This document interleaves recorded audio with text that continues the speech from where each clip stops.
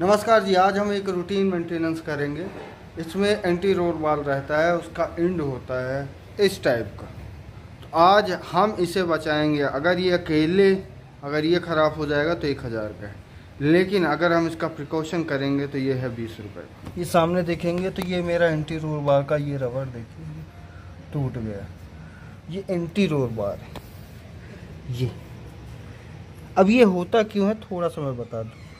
अपन ये सस्पेंशन देख रहे हैं ना फ्रंट सस्पेंशन अपना इंडिपेंडेंट होता है। वो भी, ये भी। अगर ये टायर ऊपर जाए ना, उसको पता भी नहीं लगेगा। लेकिन पीछे लीफ स्प्रिंग में पूरा एक सेगमेंट होता है। तो क्या है कि जब वो ऊपर जाता है ना तो नीचे वाले को पता चलता है, झटका लगता है तो वो नीचे आता है। पर फ्रंट सस्पेंशन में ऐसा पता नहीं चलता। तो इसलिए इसे एंटी रोल बाल इसलिए कहा जाता है कि यहाँ से ये कनेक्ट होके उस सस्पेंशन तक जाता है। तो अगर ये ज़्यादा जंप हुआ तो वो उसको रोकेगा। अगर ये ज़्यादा नीचे जाएगा तो इसको रोकेगा। कुल मिला के इनको बैलेंस बनाता है इसी। कहा जाता है एंटी रोल बार मतलब गाड़ी जब आप मोड़ोगे इधर उधर करोगे तो ज़्यादा रोल ना है कि एक सस्पेंशन बहुत ज़्यादा दब गया, एक ज़्यादा ही उठ गया। तो ये जो टायर है, इसको उठने से बचाता है। इसीलिए एंटी रोल बार कहा जाता है। और साथ में आपको एक और बात बता दूँ जैसे आपका बुलेरो नाइन सीटर आती है ना, उनमें पीछे भी होता है। आप ए आर सी सस्पेंसन देखते होगे, वो थार में, अपनी बुलेरो में एक्सयूवी में, इन सब में डालते हैं ना तो आप देखोगे वो पीछे भी यही एंटी रोल बार इससे रोल कम होता है। रोल मतलब अनइवन जम कि एक पूरा सीधे उठ गया, एक दबाई ही रह गया तो ये चीज़ें आपस में कनेक्ट करती हैं।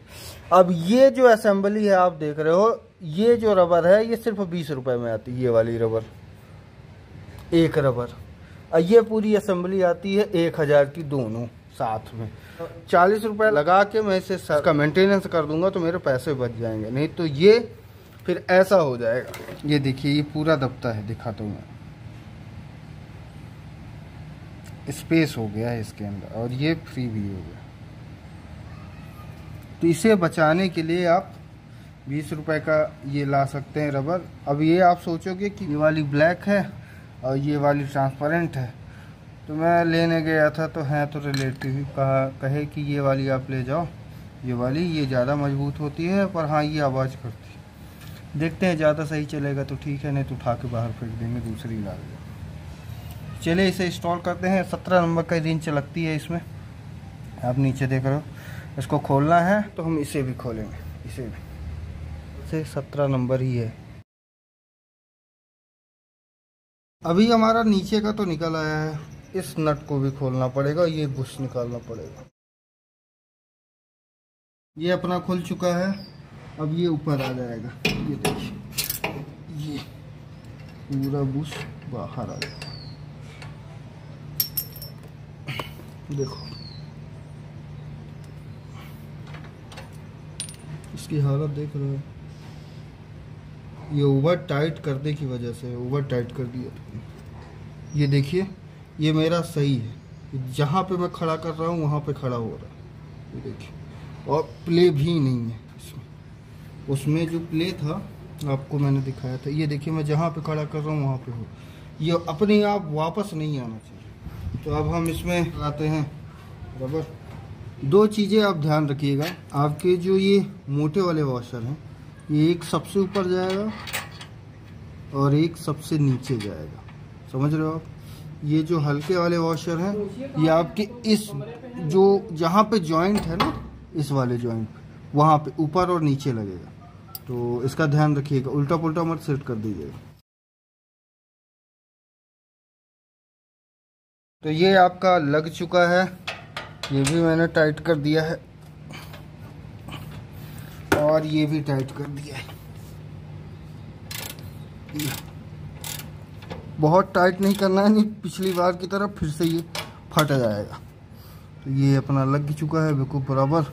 इन सारे नटों को आप अच्छा खासा टाइट कर सकेंगे। ढीला नहीं होना चाहिए। खैर, ये लॉक नट होता है। इतना जल्दी नहीं खुलता, पर इनको तो बहुत अच्छे से कसिएगा तो रैचेट पे ज़्यादा भरोसा मत करिएगा। टमी से, अच्छी टमी से, अच्छे से टाइट करिएगा ये जो बुश होता है ना, ये आपको स्मूथ बनाते हैं आपके इस राइड को। साथ में आपके इस बॉल जॉइंट को झटका कम देते हैं। यही जब कट जाते हैं तो इनमें फास्टली झटका लगता है, ऐसे ऐसे। तो फिर इनमें गैप आ जाता है, ये ख़राब हो जाता है। ये बीस रुपए का आता है एक तो दो आप खरीदोगे तो चालीस रुपए का। ये मेरा सही है, मेरे को नेक्स्ट टाइम ये काम करेगा। ये देखो आप बिल्कुल सही। ये तो बिल्कुल उधड़ गया है आप देखो बिल्कुल और ये दो तो एक हज़ार के आते हैं। इधर भी, उधर भी। तो भाई साहब, ये चालीस रुपये में आपका काम हो रहा है तो आप कर लो और एक हज़ार रुपये बचाते हैं और मैं इसी तरीके से मेंटेनेंस करता हूँ। मैं बड़ी चीज़ को नहीं करता कोशिश करता हूँ कि छोटे से छोटे पार्ट से अपना काम हो जाए। छोटी छोटी चीज़ें। मैं वेट नहीं करता कि भाई साहब जब ख़राब हो जाएगा तब कहेंगे कि चलता रहेगा। जब गाड़ी चले तो परफेक्ट चले, और हाँ ये वाइट वाले जो लगाए हूँ ना ये कह रहे थे कि आवाज़ करते हैं चूँ वो ड्राइविंग साइड इधर है, लगाया उधर हूँ, देखता हूँ, अगर ज़्यादा करेगा तो फिर चेंज कर दूँगा। खैर एक ये है, देखते हैं तो एक डाल दूँगा। नीचे वाला मैंने बहुत टाइट कर दिया तो चांसेस हैं कि ख़राब हो जाएगा। तो फिर भी कोई बात नहीं, देखते हैं इसको। अभी यहाँ एक दो दिन बाद इसको फिर से मैं टाइट करूँगा हल्का फुल्का ये ढीला होगा, फिर टाइट करूँगा। छोटी छोटी चीज़ें आपको बड़े खर्चे से बचाती हैं। मैं आपसे हर चीज़ शेयर करता हूँ, इसलिए लगता हो कि डेली गाड़ी ख़राब होती है।